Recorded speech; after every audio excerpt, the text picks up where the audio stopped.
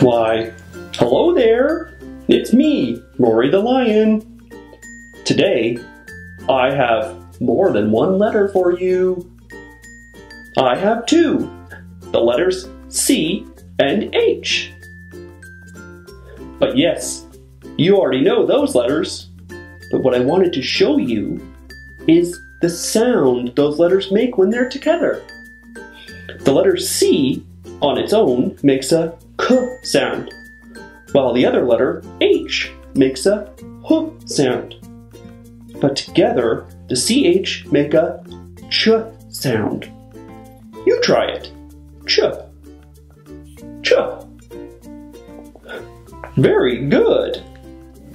What's going on here? Oh, hello, Marvin. I'm just reviewing the sound that CH makes when the letters are together. Psh, not that important. Why does it matter if there is that sound? I say, just forget it.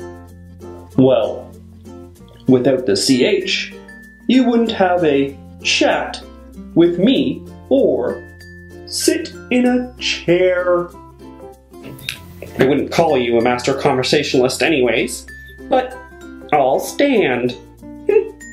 Okay, but you wouldn't be able to choose for dinner whether you wanted chicken or cheeseburgers.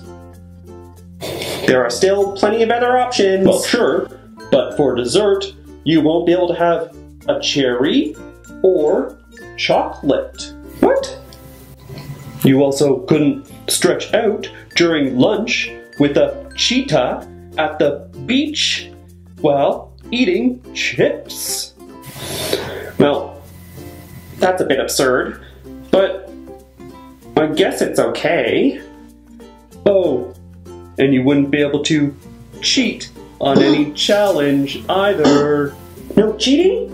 Oh, well, that's my favorite thing to do. Mm, Fine. I agree. The CH sound is an important one to have and to know. Oh, fine. You win this round, Rory. But next time, things are looking up Marvin. There are many CH words where the ch sound happens. The CH can be at the beginning of a word or in it. Practice saying some of the CH words to master the sound. Here are some of the words that we covered today. Can you say these words? Go ahead and try.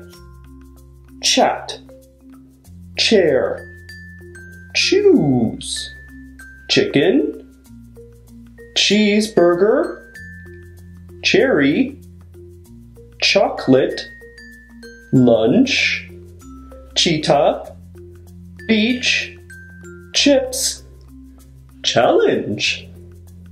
There are many more words that have the ch sound. Can you think of some more?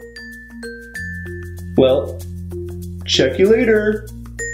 Farewell!